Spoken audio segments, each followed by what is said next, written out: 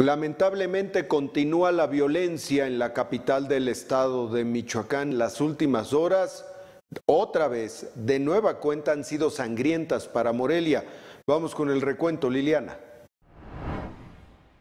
José, muy buenas tardes. Buenas tardes para todo el auditorio. Déjame informarte sobre la noche violenta que se vivió en la capital Michoacán al registrarse en menos de una hora dos hombres ejecutados a balazos en la colonia Adolfo López Mateo, un desmembrado en la colonia Margaritas y otro más en la colonia Molino de Parra, situación que provocó la movilización de unidades de la policía de Morelia, Michoacán y de la Guardia Nacional. De acuerdo con la información, el primer hecho violento se registró al filo de las 23 horas de ayer cuando vecinos de la calle Embajada de Norcorea, esquina con Embajada de Guinea y Héroes Anónimos reportaron a la policía disparos de arma de fuego en el lugar. Al llegar los policías localizaron tirados a dos hombres desconocidos con unas edades entre 35 y 40 años de edad, los cuales estaban boca abajo y presentaban varios disparos de arma de fuego. Media hora más tarde, vecinos de la calle Girasol reportaron a la policía de Morelia tres bolsas de plástico de color negro